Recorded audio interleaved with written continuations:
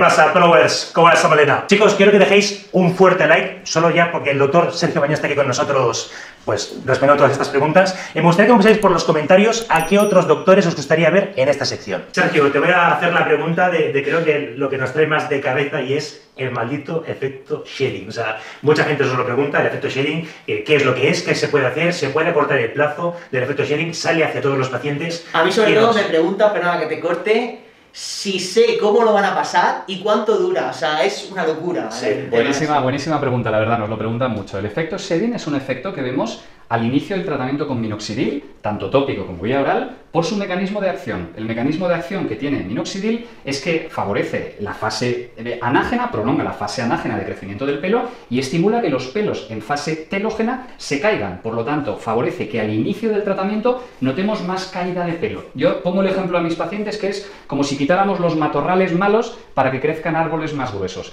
Es un efecto que no es un efecto colateral, es un efecto positivo, es un efecto necesario para el tratamiento.